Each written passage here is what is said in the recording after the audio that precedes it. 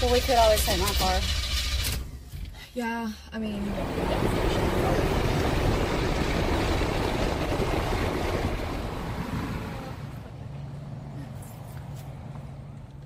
Look at this out for a second.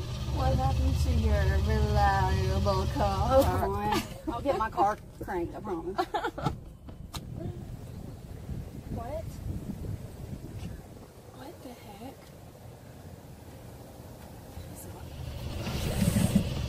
Dude, that's so weird. You know him? No.